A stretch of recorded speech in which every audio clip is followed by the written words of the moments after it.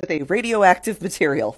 Phosphogypsum is the waste material that is created when calling something radioactive today is synonymous with saying that it's evil or bad or dangerous.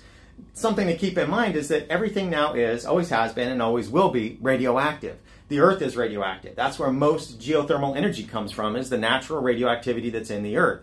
And so even you are radioactive. Potassium is naturally radioactive, and you die without it. So the question is really how much? How much is there? Is it something that's going to cause any kind of increase in your cancer probability. And the truth is, those levels are really, really high. They're substantially higher than regulatory limits.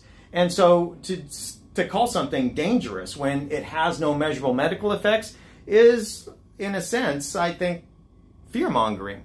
When you say to somebody, oh, watch out for that, but you know that it's not going to cause any effects. It's like taking a placebo for a poison.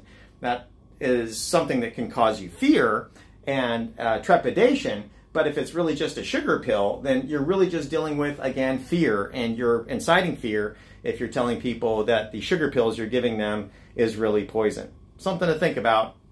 What are your thoughts?